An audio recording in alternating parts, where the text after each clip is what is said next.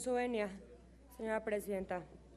La Constitución es nuestro pacto político fundamental, además de ser nuestra ley suprema. Su respeto garantiza la convivencia pacífica, el equilibrio democrático y nuestras libertades. Ningún servidor público está por encima de esta. Al contrario, somos responsables de ser ejemplares en su cumplimiento. Por ello, Preocupa gravemente el uso de propaganda gubernamental por parte del Ejecutivo Federal en la que, en violación a la Constitución y a la ley, emplea constantemente elementos que de forma directa o indirecta hacen referencia al presidente de la República. Utiliza diseños y colores semejantes o iguales a los que usa el partido Morena y convoca a la ciudadanía para ser reclutada y participar en figuras aún inexistentes como lo es la Guardia Nacional, que ni siquiera ha sido discutida ni aprobado por el Congreso de la Unión, contraviniendo así el principio de seguridad jurídica, el cual establece que la actuación de las autoridades está sujeta únicamente a aquellos actos que expresamente la ley los autorice para realizar. Compañeras y compañeros, los artículos 134, párrafos séptimo y octavo, además de su ley reglamentaria en materia de propaganda gubernamental, el 41, base 3, apartado A de la Constitución, así como 25, párrafo 1 de la Ley General de Partidos Políticos, 159, párrafo 4 y 5 de la Ley General de Instituciones y Procedimientos Electorales, nos brindan el marco legal para manifestarnos en contra de que esta práctica siga dando por parte del Ejecutivo Federal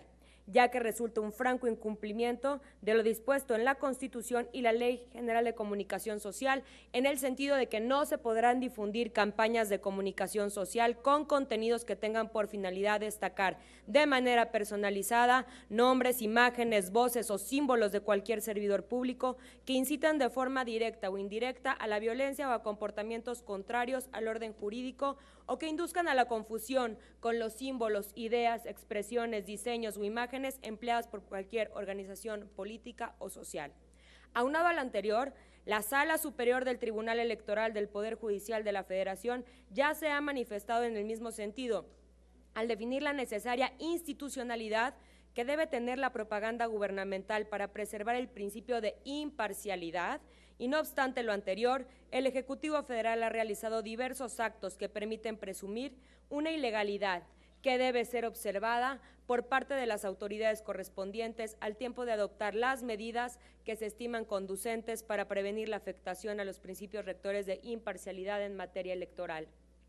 Lo anterior en virtud de que durante las conocidas conferencias mañaneras convocadas por el propio titular del Ejecutivo Federal, la propaganda gubernamental en contra del huachicoleo o el video para influir a la ciudadanía con respecto a la Guardia Nacional utilizan con premeditación elementos coincidentes respecto a los colores utilizados por el partido Morena, así como la imagen del presidente de la República y contiene elementos de propaganda al emplear frases como apoyemos al presidente Andrés Manuel López Obrador. Por ello, esta proposición con punto de acuerdo tiene como objetivo atajar esta situación, al tiempo de impulsar una acción preventiva que nos ayude a garantizar la certeza de los procesos electorales y la confianza en los mismos y en las instituciones encargadas de realizarlas, a través de medidas que abonen al equilibrio democrático y a preservar la voluntad del poder constituyente permanente y los objetivos y finalidades de la reforma electoral.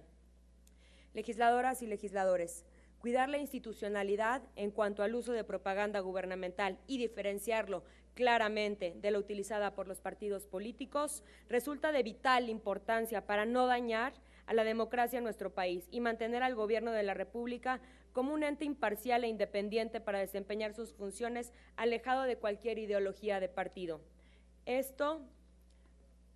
es, por esto que las y los senadores integrantes del grupo parlamentario del PRI consideramos que con la adopción de las medidas cautelares como la solicitada al INE en esta proposición con punto de acuerdo, sentará un precedente para evitar en el futuro infracciones a la normatividad electoral por parte de cualquier autoridad o servidor público en beneficio de cualquier partido político. Y con ello lograremos preservar la equidad y la igualdad como piedra angular de nuestro sistema político pues tal como menciona el presidente de la República, como parte de los poderes de la Unión, debemos dar ejemplo de imparcialidad en nuestras funciones técnicas, porque el gobierno debe trabajar para las y los mexicanos sin distinción de colores. Muchas gracias. Gracias a usted, senadora Beltrones. Túrnese a la primera comisión de trabajo.